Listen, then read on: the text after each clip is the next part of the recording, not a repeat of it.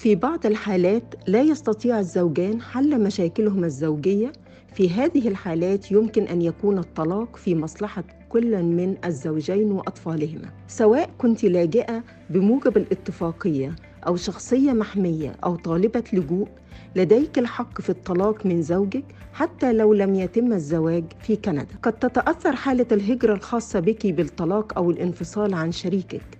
بصفتك لاجئة بموجب الاتفاقية أو شخصية محمية لا يمكن طردك أو ترحيلك من كندا لأن علاقتك بزوجك أو شريكك قد انتهت. إذا كنت طالبة لجوء فقد تتمكنين من فصل مطالبتك إذا انتهت علاقتك قبل جلسة اللجوء الخاصة بك. ومع ذلك هناك معايير مؤهلة للحصول على الطلاق من زوجك في أونتاريو وهي يجب أن يكون زواجك قانونيا بموجب قوانين كندا.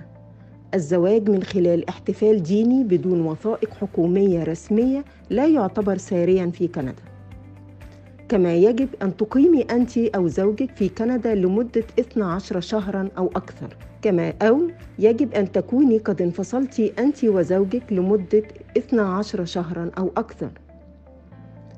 استثناءات لمدة الانفصال قد يتم تطبيقها إذا حدثت خيانة أو عنف جسدي أو عقلي. لا توجد أوراق قانونية مطلوبة للإعلان عن الانفصال، ومع ذلك إذا تم اتخاذ قرارات مهمة بشأن قانون الأسرة فيما يتعلق بحضانة الأطفال أو الممتلكات، فيجب عليك وضع تلك القرارات في اتفاقية الانفصال.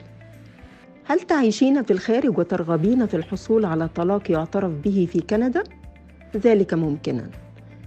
يجب أن يكون طلاقك ساريا بموجب قانون ذلك البلد وأن تقيمي أنت وزوجك في ذلك البلد لمدة 12 شهرا أو أكثر قبل التقدم بطلب الطلاق.